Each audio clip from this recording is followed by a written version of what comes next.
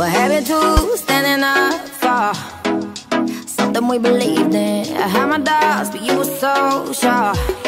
Your convincing was deceiving. You had some game, had some good talk, but you couldn't back it up. No, now you say you got a heavy heart. Do you even know that?